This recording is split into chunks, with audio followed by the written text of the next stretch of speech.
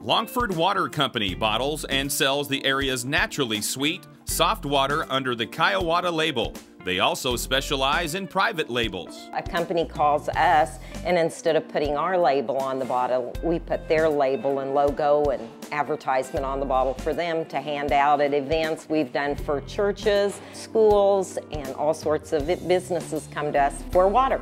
Started this business more or less on a whim. There was a gentleman came into the restaurant several years ago saying that we had the best water in the state of Kansas and suggested that we should start bottling it. So, making a few phone calls with a banker and some local business people, we put together a group of six and worked with the Kansas Small Business Development Center.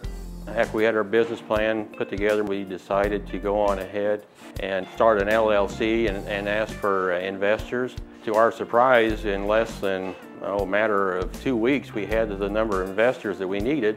After that, it, it just went along pretty smoothly for us.